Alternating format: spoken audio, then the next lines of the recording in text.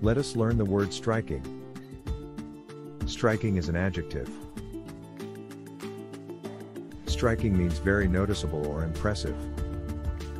It is often used to describe something that is visually or aesthetically pleasing, or that is particularly impressive or memorable. For example, a striking appearance is one that is very noticeable or eye-catching. And a striking piece of art is one that is particularly impressive or memorable. A striking similarity is one that is very noticeable or obvious. And a striking difference is one that is very pronounced or distinct. It can be used in various contexts, such as in reference to appearances, art, similarities, or differences. Here are a few examples of how the word striking can be used in different sentences. The actress had a striking appearance, with her bright red hair and bold makeup.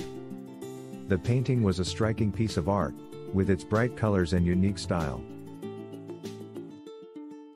The similarity between the two brothers was striking, with their matching blue eyes and dark hair.